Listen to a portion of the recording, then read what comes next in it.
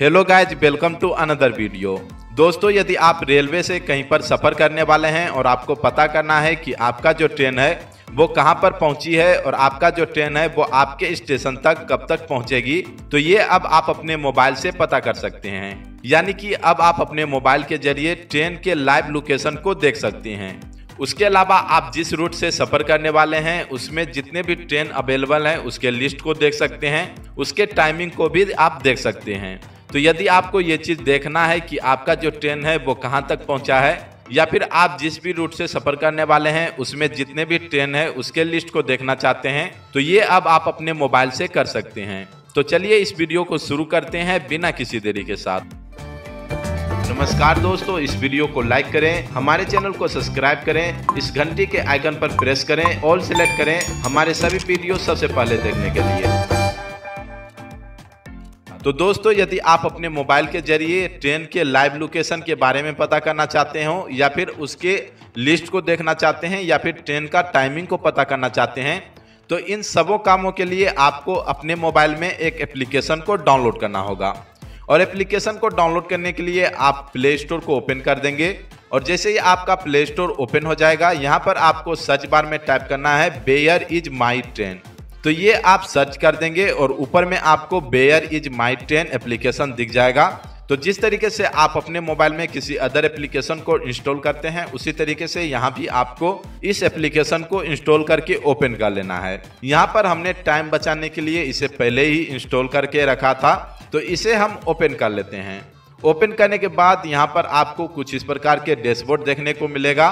तो यहाँ पर सबसे पहले आपको अपने लोकल लैंग्वेज को सिलेक्ट करना है। तो यहाँ पर आप अपने लोकल लैंग्वेज को सिलेक्ट कर लेंगे। यहाँ पर हम हिंदी को सिलेक्ट कर लेते हैं और यहाँ पर हम इसे सबमिट कर देते हैं। इसके बाद यहाँ पर आपको एक सिंपल इंटरफेस मिल जाता है और यहाँ मैं आपको जितने भी ऑप्शन दिख रहे हैं, इन सबों के बारे में मैं आपको समझाऊँगा।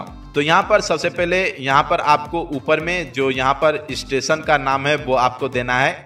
यानी कि जहाँ से आप अपने जर्नी को स्टार्ट करेंगे उस स्टेशन का नाम आपको यहाँ पर लिखना होगा। तो यहाँ पर जैसे ही आप नाम टाइप करना शुरू करते हैं, आपको सजेशन में यहाँ पर नाम आने शुरू हो जाते हैं। तो जैसे ही आप एक दो लेटर लिखेंगे या फिर आप उस स्टेशन का शॉर्ट नेम लिखेंगे तो वो स्टेशन यहाँ पर आपको दिख जाएगा, उसे आप यहाँ से सिलेक्ट कर लेंगे। उसके बाद यहाँ पर आपको नीचे उस स्टेशन का नाम टाइप करना है, जहाँ तक कि आप अपने जर्नी को करना चाहते हैं। तो यहाँ पर हम अपने जो स्टेशन का नेम है, उसे हम सिलेक्ट कर लेते हैं। उसके बाद यहाँ पर आपको ट्रेन ढूंढे पर क्लिक कर देना है। तो जैसे ही आप ट्रेन ढूंढे पर क्लिक कर देंगे, यहाँ पर आपके रूट में जितने भी ट्रेन उपलब्ध होंगे, वो आपको यहाँ पर एक लिस्ट मिल जाएगा। उसके अलावा यहाँ पर आपको एक ऑप्शन मिलता है, सभी तारीख। तो जब आप इस पर क्लिक करेंगे तो यहाँ पर आपको कुछ लिस्ट देखने को मिलेंगे, जैसे कि यदि आप आज के ट्रेन को देखना चाहते हैं तो इस पर क्लिक करेंगे। आने वाले कल के ट्रेन के लिस्ट को देखना चाहते हैं तो इस पर क्लिक करेंगे। या फिर यदि आप किसी अदर डेट में सफ़र करना चाहते हैं तो आप इसे नीचे सेलेक्ट करेंगे, और आप जिस भी डेट में सफ़र करना चाहते हैं, उसे आप यहाँ से सेलेक्ट करेंगे। अब यहाँ पर आपके रूट में जितने भी ट्रेन उपलब्ध हैं, उसका लिस्ट आपको यहाँ पर देखने को मिल जाएगा। तो यहाँ पर आप देख सकते हैं, ऊपर में आपको ट्रेन का नंबर देखने को मिल जाएगा। उसका टाइमिंग आप यहाँ पर देख सकते हैं, जैसे कि दानापुर इंटरसिटी का जो टाइमिंग है, वो पाँच, साढ़े पाँच बजे है। और ये हमें ग्यारह बज के पच्चीस मिनट पर, यानी कि साढ़े ग्यारह बजे के लमसम, ये हमें पटना जंक्शन पर पहुँचा देगी। और नीचे आप इस ट्रेन का नाम देख सकते हैं, दानापुर इंटरसिटी एक्सप्रेस तो यहाँ पर उसी तरीके से आप अपने ट्रेन को, उसके टाइमिंग को यहाँ पर आप चेक कर सकते हैं। उसके अलावा यदि आप उस ट्रेन के लोकेशन को देखना चाहते हैं तो आप जिस भी ट्रेन से सफ़र करने वाले हैं उस ट्रेन को यहाँ से आप सिलेक्ट कर लेंगे और सिलेक्ट करने के बाद यहाँ पर आपको उसका जो लोकेशन है, वो आपको दिख जाएगा।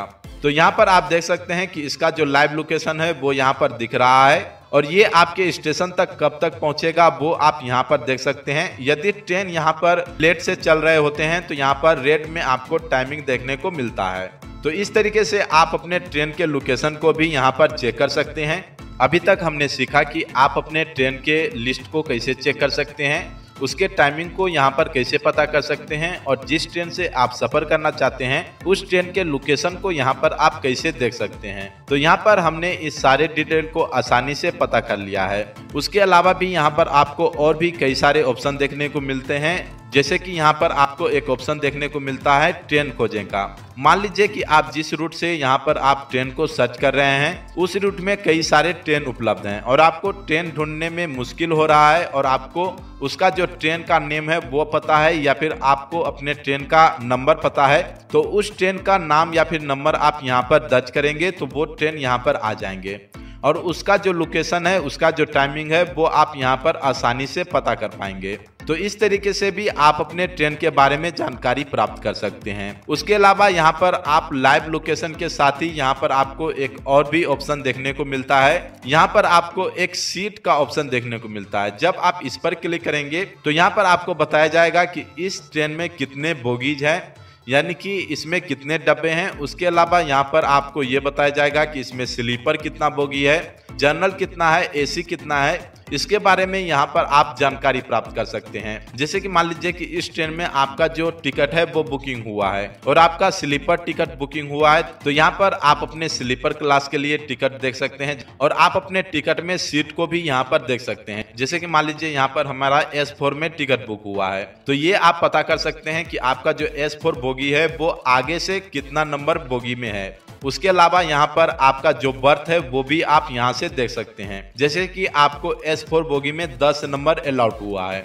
तो यहाँ से आप ये देख सकते हैं कि आपको दस नंबर में कौन सा सीट मिला है, जैसे कि lower berth medium berth upper berth या फिर साइड लोअर या फिर साइड अपर ये आप यहाँ से पता कर सकते हैं।